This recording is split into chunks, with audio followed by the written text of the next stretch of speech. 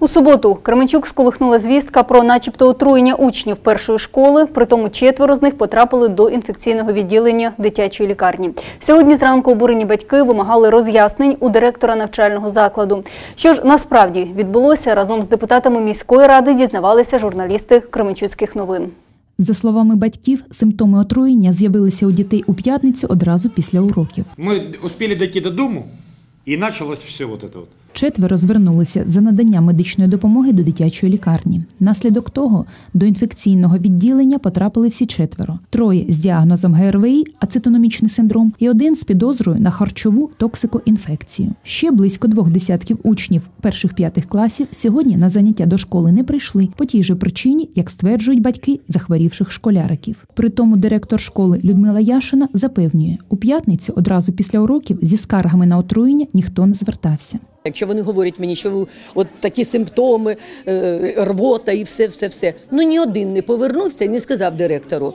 Людмила Васильівна, є така проблема. Сьогодні зранку міський голова прямо з апаратної наради направив керівників освітньої та медичної галузи до навчального закладу, щоб розібратися в проблемній ситуації. На зустріч з батьками прибули і дитячі лікарі, яким довелося працювати з маленькими пацієнтами. Фахівці наголошують, батьки не дотримуються дієтичного харчування своїх чад. Она кормилась варенично несколько дней, этот ребенок.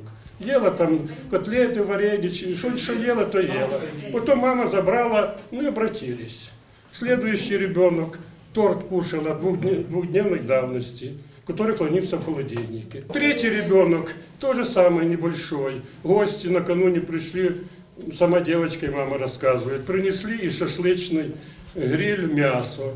Девочка кушала, а это гриль мясо.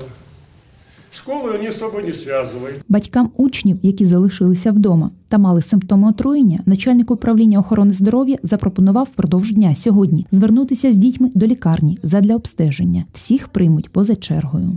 Батьків е, 20 дітей, які розписалися, що дійсно у дітей є ознаки з їх слів е, харчової токсикоінфекції, все ж таки не займатися самолікуванням для того, щоб це не було просто слова, а звернутися сьогодні ж. Ми зробимо зелений коридор, скажімо так, в приймальному відділенні дитячої лікарні для того, щоб діти отримали. Е, Діагностику для того, щоб вони отримали е, нормальні консультації лікарів і отримали лікування. Якщо ви будете наполягати на амбулаторному лікуванні, ніхто е, насильно не буде утримувати в інфекційному відділенні.